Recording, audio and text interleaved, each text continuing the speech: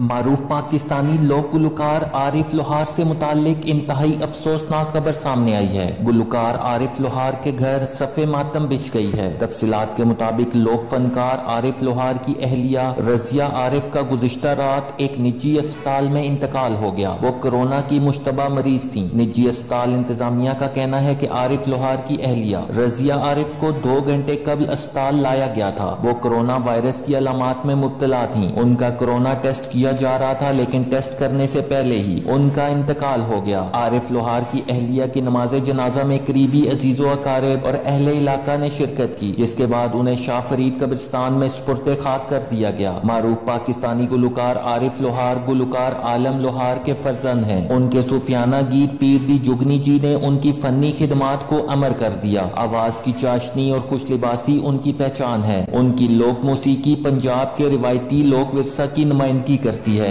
आरिफ लोहार गुजशत बीस सालों के दौरान में दुनिया भर में पचास से जायद गैर मुल्की दौरों में अपने फन का मुजाहरा कर चुके हैं